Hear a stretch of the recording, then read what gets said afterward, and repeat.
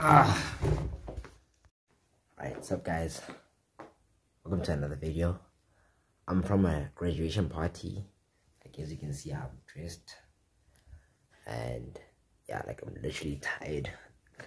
Super tired. So I'll catch you guys tomorrow morning. Good afternoon guys. Uh, I'm so tired. Like what the hell was I doing yesterday? Are you ready to drink it? I'm ready. I'm ready. Rap, rap. Uh. Yeah. Itu, itu, itu.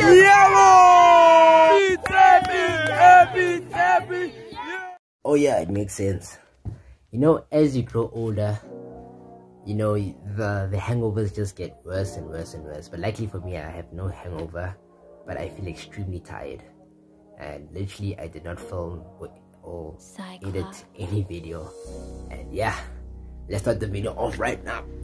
Alright guys, so do you guys I'm sure you guys have heard of Andrew Tate, right? Like that guy has been blowing up on social media like he's literally everywhere. And he says something very profound. Um, like I found a, a video of him and it really got me thinking. He said that most men, right? Young men rather, they are literally invisible in today's world, in today's society because of their social status, right? Like if you want to be valued as a man, like as a guy in today's social status, like you need to have a lot of key things. Like you need to have a house, a car, you know, you need to be complete at a, such a young age, which is actually ludicrous. So basically, if you like someone in your 20s, mid 20s, or to your late 20s, right, and you don't have those kind of things that I mentioned, maybe like if you're in your young 20s, you might be excused, but if you're in your like late 20s and you don't have like a house, a car, or like you don't you don't have like an apartment and stuff like that like a lot of women will see you as a failure like this guy's not serious. I got i got touchy serious. And worst part if you're earning a stipend guys like it's it's like literally is worse. People girls especially they will ridicule you for like earning a stipend and being like literally a low valued man they'll see you as like a low valued man and guys, if you if you think I'm lying, right? Look at Instagram. Look at the guys that have like a hundred thousand plus followers. What do they have? They flex money. They flex the car, the Ferraris. You know, certain they have like they have like a lot of material things, right?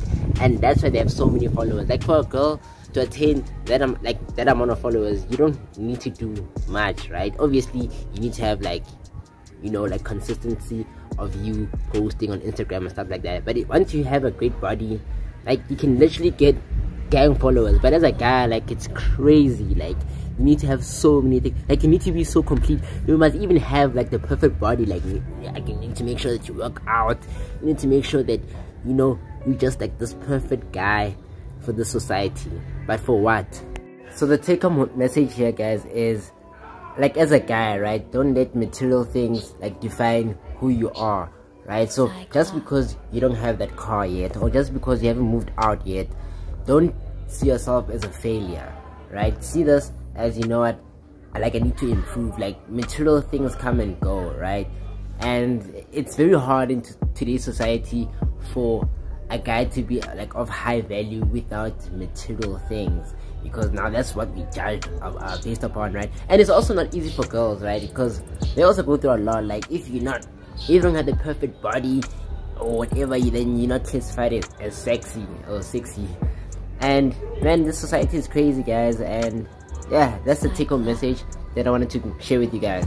Alright guys. So if you made it this far in the video i just want to ask you guys one question of how do you feel about Andrew Tate like the messages the messages that he's trying to spread oh guys i don't know what's wrong with that speech the messages that he's trying to like spread like on social media as a guy or a girl, like how do you feel about Andrew Tate? Like uh, some of the things that he's telling, like, like the truth, or is this guy just insane? He's psycho. I don't know. Like for me, he he has like some level of truth. Yes, sometimes he puts like girls on blast and stuff like that, but women rather on blast. But this guy holds like a strong message, like especially for young men who are coming up, right? Because now like everything has been so diluted. There's so many, so everyone is so opinionated. And yeah like how do you guys feel about him? I don't know. I i think he is the top G like honestly. Yes some of the things he says are crazy but there's some level of truth to it. And yeah there's some few pointers that you can take as a guy you know from him but i don't know. I don't know what your guys thought uh, are and i don't know if you guys want to see an in-depth video of like me like breaking down how Andrew Tate actually became so successful like on social media and how he blew up. And it's one technique that i'm actually gonna try like the techniques that he used. Because this guy was literally on everyone's feed like every single like i saw Andrew Tate more than i saw my mom. It's crazy. So yeah. I don't know. Also do you guys want to see a video of like a documentary style video of where i research and break down on the steps that Tate used to blow up on everyone's social media feed. Anyway guys i'm wrapping up the video right here. I hope you guys enjoyed this week's upload. I know it was not so in-depth but yeah if you did please give it a thumbs up. It helps the channel grow so much. And if you're new here welcome. Why don't you click subscribe turn on the notification bell because i do drop a new youtube video literally every single sunday and you don't want to miss it. I'll catch all of y'all in the next upload peace